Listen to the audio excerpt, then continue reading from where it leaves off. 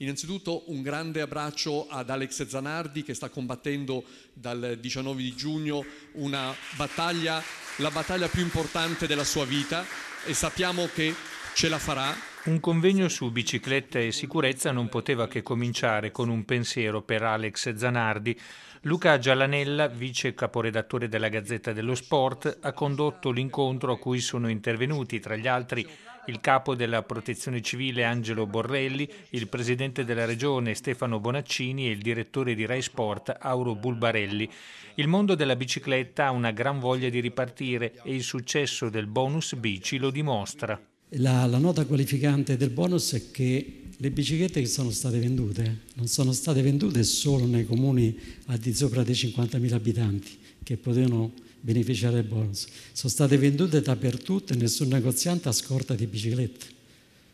Per cui questo è un momento straordinario per la bicicletta. La ripartenza sui pedali richiede sicurezza rispetto al Covid, ma anche sicurezza sulle strade. Nel 2018 sulle strade italiane sono morti 219 ciclisti, una strage inaccettabile, tanto più pensando ai bambini e ai ragazzini che imparano ad amare la bicicletta e lo sport con la Cooperatori e con le altre associazioni sportive dilettantistiche.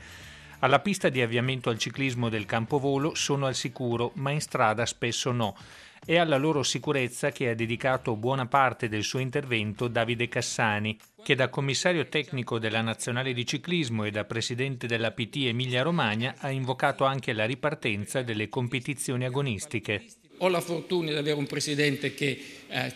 da mesi si sta adoperando per far ripartire il mondo del ciclismo, eh, ormai sono diventato uno stalker di Gian Maria Manghi, che ci sentiamo quotidianamente con, anche con il Presidente, perché siamo in una regione dove si cerca di fare le cose giuste, con l'estrema cautela, ma di farle, e quindi io credo che siamo nel momento giusto per poter ripartire a fare sport agonistico con il controllo del caso.